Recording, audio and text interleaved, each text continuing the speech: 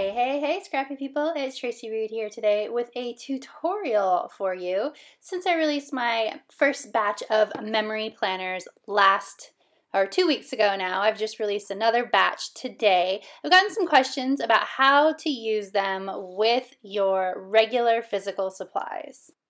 So today I'm going to be showing you the best practice for how to use my memory planners or really any digital template with your physical scrapbooking supplies. Now the first thing I'm doing here is I am clipping my photos to each one of the photo spots and I'm resizing this Star Wars poster to fit in the photo spot that I created on this template. So um, what you do is you just drag and drop your photos right onto the template and then to clip it to the actual photo spot you hit command option G or you can hold down option which is alt on a PC in between the two the photo layer and the photo matte layer in the layers palette and it will clip the photo to the photo mat. So you can see I'm resizing this one and then I'm going to hit command option or command alt or control alt G as soon as I have it placed and to the size I want it to be. I also went over this in a tutorial um, previously for these memory planners and it's a little bit slower pace. That's why I'm going a little faster in this one. So if you're interested in that original memory planning tutorial um, I will link it below so that you can check it out. At a little bit of a slower pace because it talks about how to just use the memory planner. So that is a great introductory um, tutorial for this process. I'm going to speed this up a little bit and just add in all of my photos.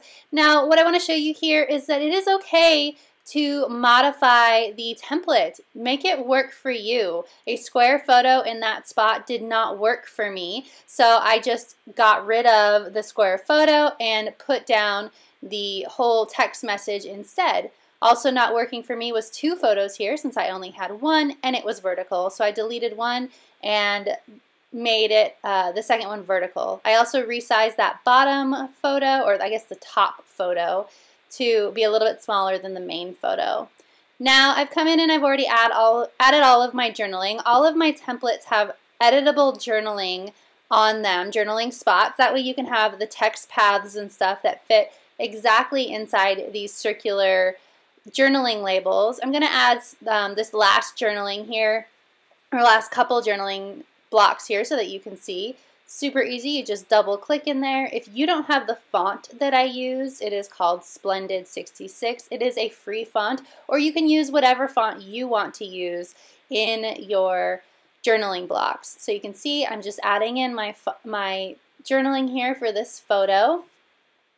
And just typing it out and it goes directly into that circular journal block with no problem at all because I've created the text paths themselves um, in the Photoshop file. Now you can edit these files in Photoshop or in uh, Paint Shop Pro, Photoshop Elements, even GIMP if you have um, GIMP, which is sort of a free version of Photoshop. It works in all of those programs.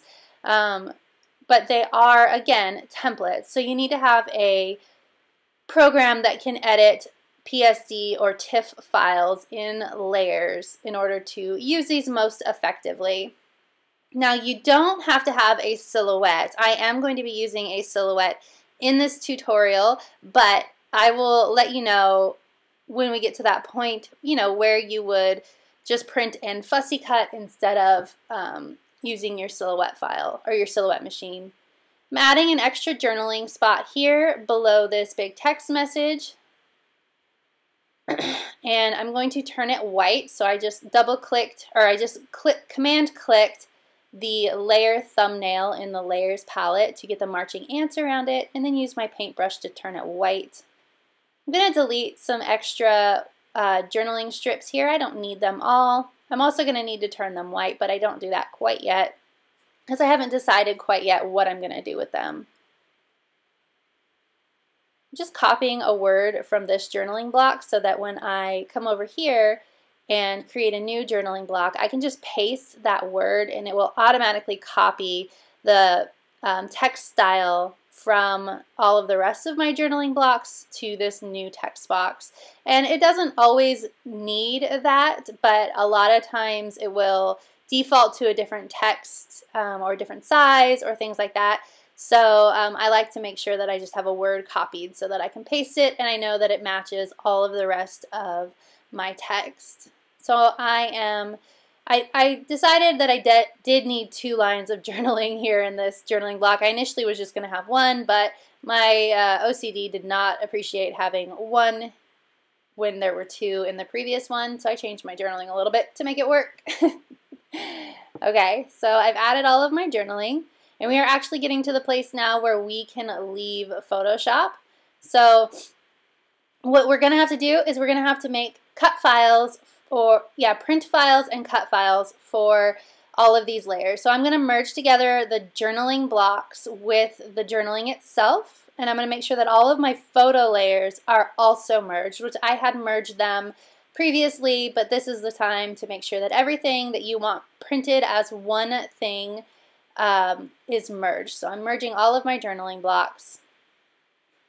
I'm going to turn off this bottom layer so that I don't accidentally copy it. And then I'm going to take all of these paper layers and I'm going to um, I'm going to not select them. The only things that I want to select are the things that need to be printed. So I'm creating a new file here at 8.5 by 11, which is US standard printing size. If you are out of the US and you have a different standard printing size, that is the size that you would make your paper. So I'm selecting all of my journaling and all of my photos.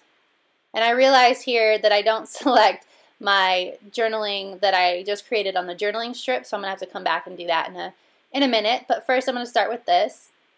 I initially was going to print all of it on one sheet, but it wasn't all going to fit on one sheet. So what I'm doing here is I'm pulling out all of the journaling circles to print at the bottom here, but I'm going to change this up in a minute.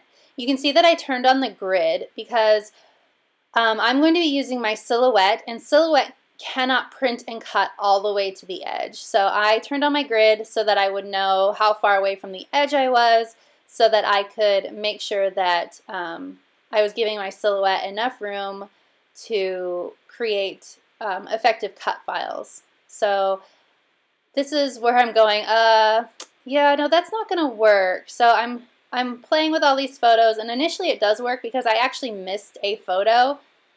Um, the point here is to use up the entire paper if I can.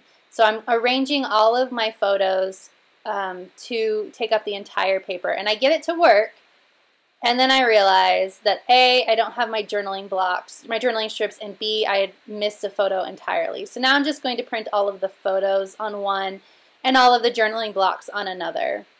So I actually have created um, some, that you can see those brackets around the outside edges. I actually created a file that would show me exactly where the silhouette cut lines are. It's useful for me as a designer because I, um, I have to make sure that my product works with the silhouette files. So I have that for um, that use, but it also works for this use as well. And you saw there that when I created the black overlay for the silhouette, it was actually, my photos were merged and I hadn't realized it, so I had to go back and change it. So what you need to be doing here is I merged all of my photos once I was done laying them out. And I'm going to do the same with these journaling blocks. And then I duplicated the layer and created an entire black color overlay. So you need both layers, a black layer and a um, color like printable layer because the black layer is going to tell the silhouette where to cut and the color layer like the printable um, layer is what you're actually going to use to print out your photos. So here I am going, oh yeah, I forgot this journaling. So I'm changing those to white and going to copy this journaling over to my 8.5 by 11 sheet. And then I'm also going to do that with that bottom journaling strip that I haven't even filled out yet. And I'm going to print the journaling on just regular paper. So I'm copying and pasting it over here. It doesn't matter where it goes as long as it's not to the very edge because I don't have to worry too much about um, there being enough room since I'm printing such small pieces and not very many of them. So I'm going to add my journaling over here as well.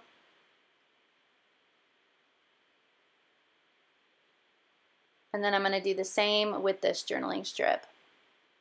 And then once I get these copied over, I'm going to repeat the process to create the black color overlay for the journaling strips so that I can create cut lines for the journaling strips. Now if you do not have a silhouette, you don't have to worry about this part. Just print this straight out and fussy cut and you will be good to go. Um,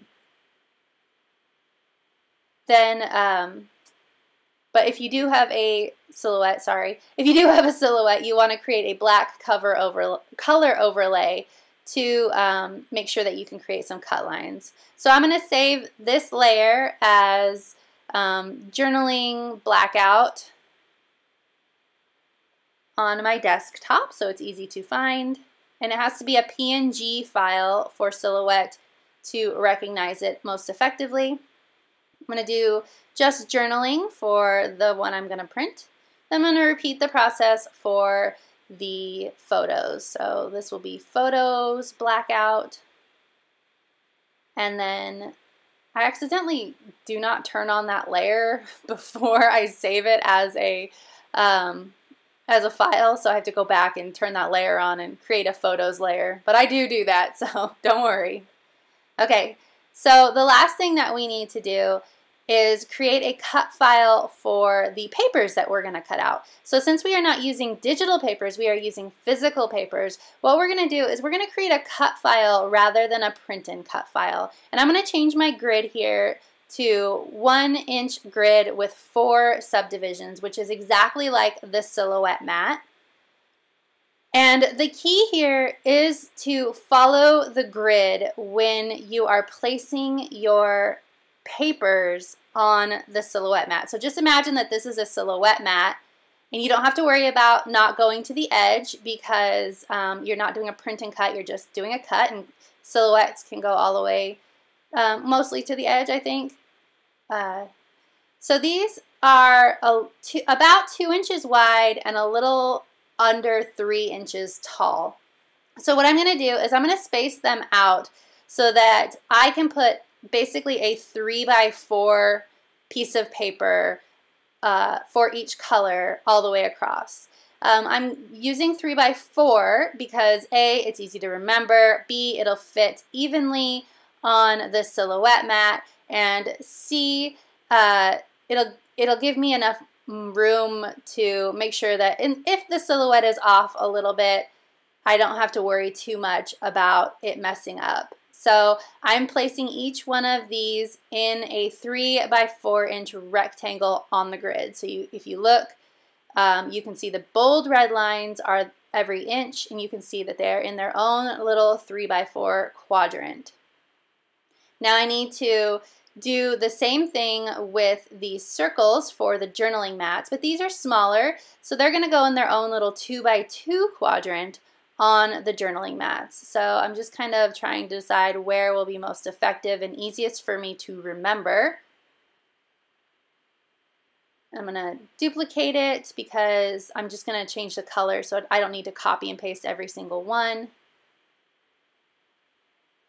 But I do need five of them, so I'm creating five little two by two quadrants across the page.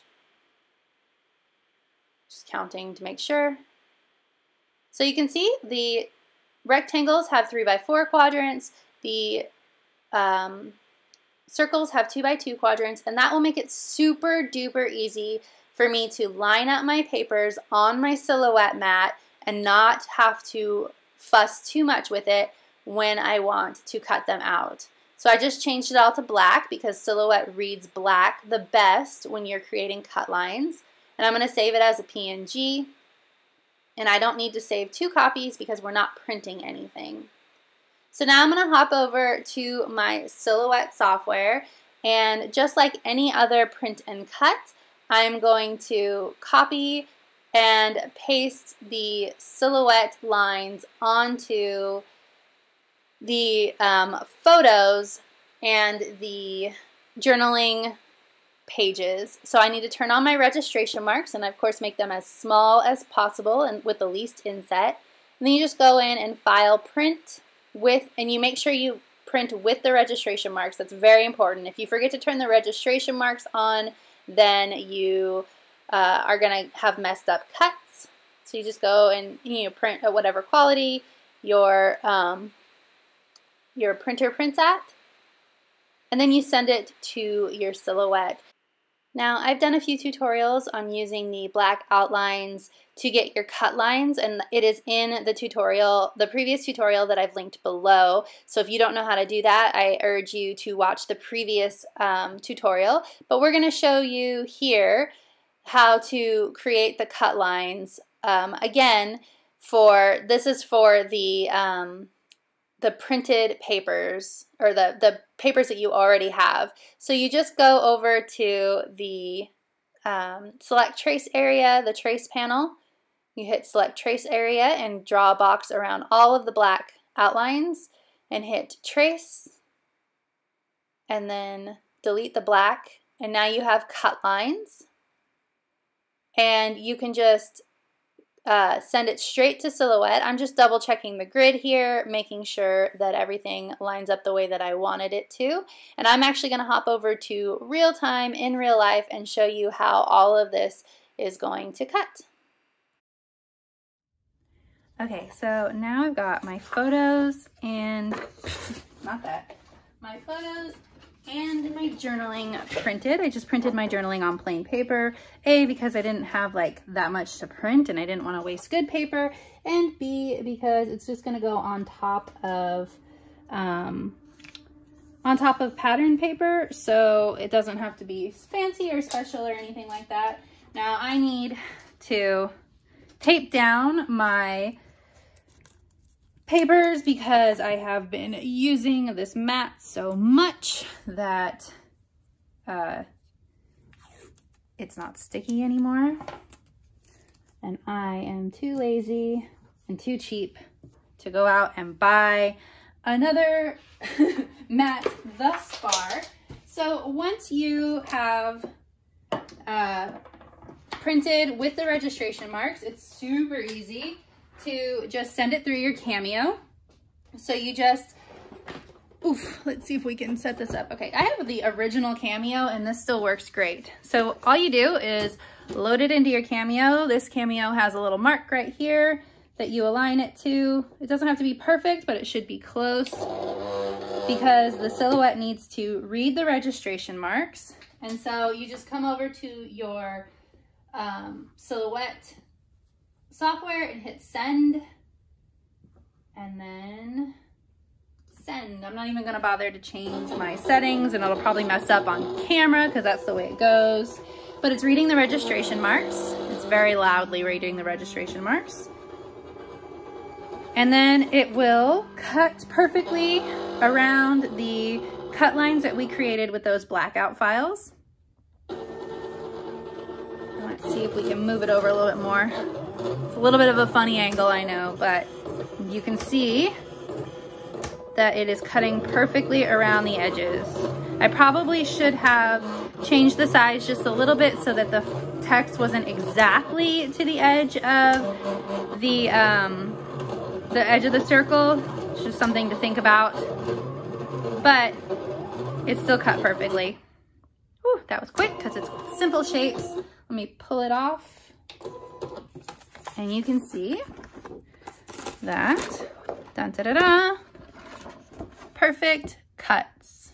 Yay. Okay, so we repeat the process again with the photos, and I'm gonna fast forward through that since it's the exact same process.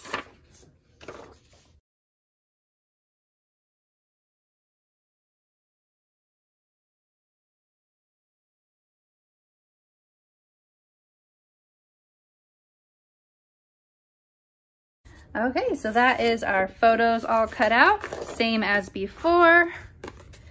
You just pop them out. Sometimes it sticks a little. Pop them out. I printed these on sticker paper, so the color is a little bit dull, but you get the convenience of having photo stickers rather than photo paper, and it's a little bit thinner as well, which is really helpful for big projects like this, where you're gonna have a lot of weekly layouts, etc. So you can see, perfect little cuts. Get these ones off. Now for the papers, this is where the process changes a little bit. So you remember that we lined up our papers so that each of the patterned blocks were in a three by four square. And that makes it super easy to just cut some three by fours and align them along the grid. Doesn't matter what which ones you put where because they're all just gonna be cut out and you can put them wherever you want when they're cut.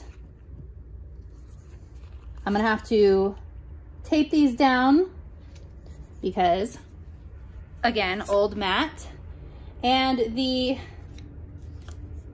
patterned, or actually solid circles, I suppose, whatever you want to use. You can use cardstock, you can use more patterned paper. Um, it doesn't matter. For the journal mats, or if you're a little bit Photoshop savvy, you can print them out all together with color. But we are not using Photoshop beyond the basics for this layout. So I did not do that. But the, um, the circles that we need to cut out are um, two by two squares. So I'm going to align those to the squares that we decided on in the Silhouette Studio, or I guess in Photoshop. I'm gonna take these down first. Make sure that nothing moves because that would be a bummer. I'm making sure to not tape too far in on either side to not interfere with the cutting blade. You wanna make sure you use washi for this with the pattern paper because you are, uh, or potentially going over things that you might need. So washi comes off easier than like a scotch tape. Let's do, let's just be extra careful here because my silhouette is testy. I'm gonna use all the washi tape. Okay, so now I need to put some two by two squares down for the um, circles. All right, so I've got my five squares and I'm going to align them right to where I have them on my silhouette mat. This might change depending on where you put them on your silhouette mat. Make sure you uh, pay attention basically to where you have them. I centered them in squares so that um, it would be easier for me to keep track of where they went. So there we go. Stick these down with more washi. Make sure you use a washi you don't care about since you're gonna be using a lot of it if you are like me and have to tape these down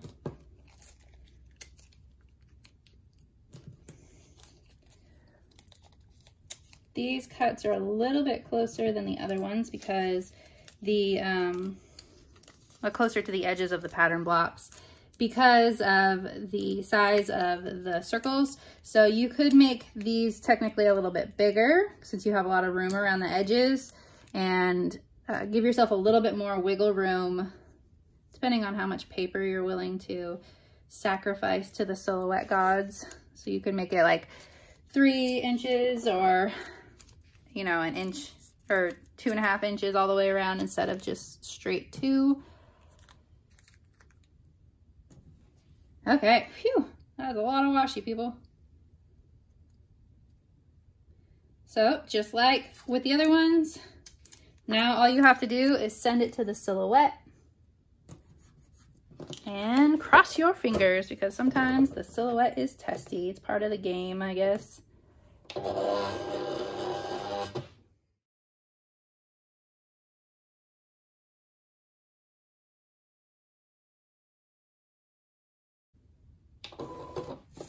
Hallelujah. I think we did it right here. Okie dokie. Now everything is cut out and perfectly sized for a, this one is for the big happy planner. I'm actually going to print out um, blank pages because I prefer uh, not to have all of the extra stuff I've discovered, all of the lines and things, but I'm just gonna lay it out in here just so that you can see that all you do now is come in here and lay them out just like you would any other layout. I'm just gonna randomly put these down here because uh, I haven't thought about it yet. And we will do a uh, memory plan with me with this stuff in the next video. I just wanted to, let's put this one here.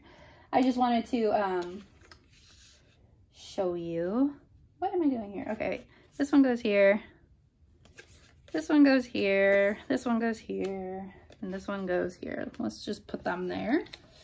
And then the photos that we printed,